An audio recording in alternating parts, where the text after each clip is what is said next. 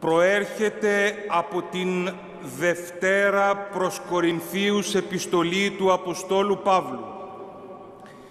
Στην περικοπή αυτή, ο Απόστολος βοηθεί τον άνθρωπο να κάνει μία ενδοσκόπηση στο εσώτατο βάθος της υπάρξεώς του, ώστε να ανακαλύψει την θεϊκή του προέλευση και συγγένεια.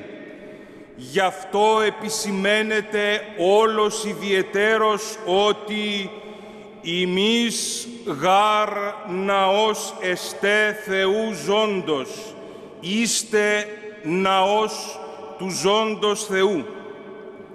Δηλαδή ο Παύλος θέλει να συνειδητοποιήσουν οι πιστοί ότι κάθε χριστιανός είναι ο ίδιος ναός του Θεού ως μέλος του σώματος του Χριστού και ότι το σώμα του είναι ναός του Αγίου Πνεύματος.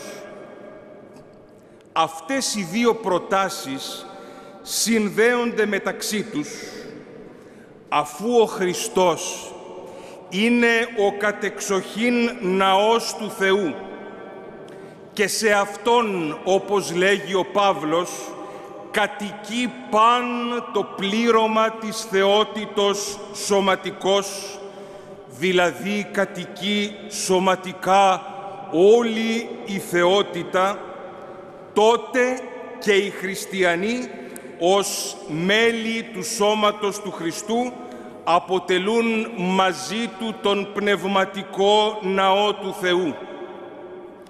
Γι' αυτό με πίστη και αγάπη οφείλουν να συμβάλλουν στην ανάπτυξη αυτού του ναού και να συνειδητοποιούν ότι η Εκκλησία είναι ο τόπος συναντήσεως Θεού και ανθρώπων, σημείο της θεϊκής παρουσίας στην γη.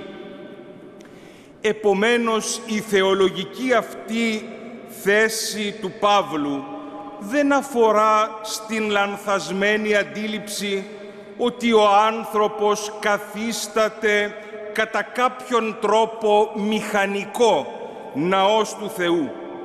Βασική προϋπόθεση είναι η συνέργειά του, δηλαδή η διαρκής καλλιέργεια της πίστεως, της μετανοίας και της αγάπης. Η θέληση να συνδεθεί προς τον Θεό, η αίσθηση ότι μαζί με τους εν Χριστώ αδελφούς του αποτελεί ένα σώμα, το σώμα του Χριστού και ότι εξαιτίας αυτού του μοναδικού γεγονότος οφείλει να σέβεται τον εαυτόν του και τους αδελφούς του ως ναούς του Θεού. Να προσφέρει προς αυτούς δαψιλός την αγάπη του Χριστού και να μην την κατακρατεί αποκλειστικά για τον εαυτόν του. Ο κάθε πιστός πρέπει να αποτελεί μία ύπαρξη αφιερωμένη στον Θεό, να είναι ένα μυστικό θυσιαστήριο στο οποίο θα προσφέρει τον εαυτόν του θυσία ζωντανή, αγία, ευπρόσδεκτη στον Θεό όπως λέγει ο Παύλος και πάλι στην προς Ρωμαίους επιστολή. Ακολούθως, ο Απόστολος Παύλος προσφεύγει στην Παλαιά Διαθήκη, όπου ο ίδιος ο Θεός διαβεβαιώνει τον λαό Του ότι είναι παρόν στον κόσμο και την ιστορία. «Ενικήσω εν αυτής» ακούσαμε στο ανάγνωσμα και εμπεριπατήσω και έσω με Αυτόν Θεός και αυτοί έσοντέ μη λαός. Θα κατοικήσω ανάμεσά τους και θα πορεύομαι μαζί τους. Θα είμαι Θεός τους και αυτοί θα είναι λαός μου.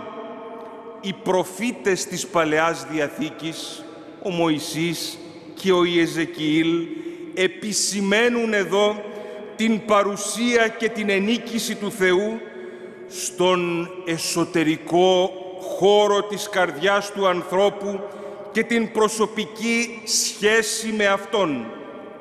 Η υπόσχεση αυτή του Θεού προς τον άνθρωπο αναφέρεται και εκπληρώνεται κατεξοχήν στην ενανθρώπιση του Χριστού, στο πρόσωπο και το έργο Του, στην θυσία και την Ανάστασή Του, στην παρουσία Του ανάμεσά μας.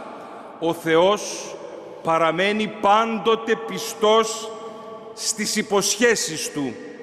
Το ζητούμενο είναι η ανταπόκριση του ανθρώπου στο κάλεσμα του Θεού. Άραγε, κατά πόσο επιθυμεί ο σύγχρονος άνθρωπος να γίνει κατοικητήριο ναός του αληθινού Θεού, έχει τις προϋποθέσεις να συνειδητοποιήσει τι σημαίνει αυτό. Επιθυμεί να συμπορεύεται με τον Θεό, δηλαδή να υπάρχει μεταξύ αυτού και του Θεού συγγένεια, οικειότητα, αγάπη και το χάρισμα της υιοθεσίας.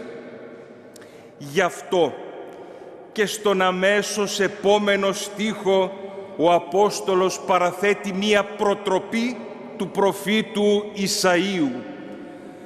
«Διό εξέλθετε εκ μέσων αυτών και αφορίσθητε, λέγει Κύριος, και ακαθάρτου μη άπτεσθε, καγώ εις δέξομαι ημάς. Εξέλθετε από ανάμεσά τους, δηλαδή, και ξεχωρίστε τον εαυτόν σας και μη πλησιάζετε στην αμαρτία και εγώ θα σας δεχθώ κοντά μου. Από πού ζητεί ο Απόστολος με τους λόγους του Ισαΐου να εξέλθουν οι πιστοί; Και από ποιους να ξεχωρίσουν τον εαυτόν τους αποφεύγοντας την αμαρτία. Ο Παύλος διακρίνει ότι οι χριστιανοί της Κορίνθου κινδύνευαν από μία αναποφάσιστη διψυχία, δηλαδή από μία μορφή εσωτερικής διασπάσεως. Η αγάπη και η πίστη τους προς τον Κύριο δεν ήταν ολοκληρωτική, παρότι έβλεπαν την καρδιά του Παύλου, ο οποίος τους προσέφερε με την ολοκληρωτική παράδοση του εαυτού του την αγάπη του Χριστού. Και αυτή η διψυχία τους φαινόταν από το ότι δέχονταν την επίδραση διαφόρων είδωλολατρικών συνηθιών και επηρεάζονταν από το πνεύμα της ειδωλολατρίας, δηλαδή μιας ζωής που δεν στηρίζεται στην αγάπη και την πρόνοια του Θεού, όπως Αυτός ο Θεός αποκαλύπτεται στο πρόσωπο του Ιησού Χριστού, αλλά στα διάφορα κτίσματα και υλικά πράγματα. Με τον τρόπο αυτό προσπαθούσαν να συμβιβάσουν τα ασυμβίβαστα. Γι' αυτό και τους ερωτά ο Παύλος στους αμέσως προηγούμενους στίχους της περικοπής μας. Τι σχέση μπορεί να έχει η δικαιοσύνη του Χριστού με την ανομία των ειδόλων, τι κοινό μπορεί να υπάρχει ανάμεσα στο φως και το σκοτάδι, μπορεί να υπάρχει συμφωνία του Χριστού με τον Βελίαλ, τον σατανά. Είναι εφικτό να συνυπάρχει ο ναός του Θεού με τα είδωλα. Τα ερωτήματα αυτά και ο προβληματισμός του Παύλου έχουν μεγάλη σημασία και διαχρονικότητα. Επισημαίνεται δηλαδή το πρόβλημα της σχέσεως του χριστιανού με τις σύγχρονες μορφές ειδωλολατρίας, αφού είναι αδύνατον να συμβιβάζεται από την μία πλευρά η πίστη του ανθρώπου στον Χριστό και από την άλλη η καθημερινή ζωή του να κατευθύνεται και να οργανώνεται από το πρακτικό πνεύμα της ειδωλολατρίας. Επί παραδείγματι, η σχεδόν πλήρης υποταγή του ανθρώπου στα καταναλωτικά και τεχνολογικά αγαθά του συγχρόνου πολιτισμού εγκυμονεί τον κίνδυνο της θεοποιήσεώς τους έναντι της εν αγάπη εξαρτήσεώς του από τον Θεό. Έπειτα η αχαλήνωτη σαρκολατρία με τις θανατηφόρες συνέπειές της, η εκμετάλλευση του συνανθρώπου, η έξαρση της εγκληματικότητος, η πόλεμη, η απουσία της ειρήνης, της δικαιοσύνης, της αγάπης. Όλα αυτά και πολλά άλλα συσκοτίζουν το νου του ανθρώπου και τότε αντικαθιστά την λατρεία του αληθινού Θεού, της αγάπης και του ελέους, με την λατρεία των ειδόλων, με πρώτο και φοβερότερο αυτό του εγωισμού και της αλαζονίας. Αγαπητοί μου, ο χριστιανός αποκτά την αίσθηση ότι είναι ναός του ζώντος Θεού όταν είναι διαρκώς αγωνιζόμενος και αγιαζόμενος. Αγωνιζόμενος για να ζήσει το μυστήριο της αγάπης του Θεού στην καθημερινή του ζωή και αγιαζόμενος από την χάρη του Θεού, από την Θεία Ευχαριστία, την προσευχή, την ταπείνωση, το ηλαρόν φως της Αγίας Δόξης του Θεού.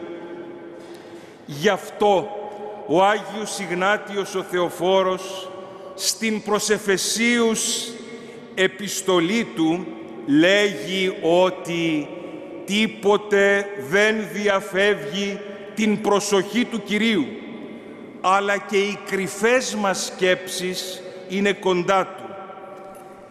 Πάντα ουν ποιόμεν ως αυτού εν ημίν κατοικούντος. Ας κάνουμε λοιπόν τα πάντα σαν να κατοικεί Αυτός μέσα μας ή να όμεν αυτού ναεί και Αυτός ή εν ημίν Θεός ημών για να γίνουμε ναοί Του και Αυτός να είναι ο Θεός μας μέσα στον ναό της ψυχής μας. Αμήν.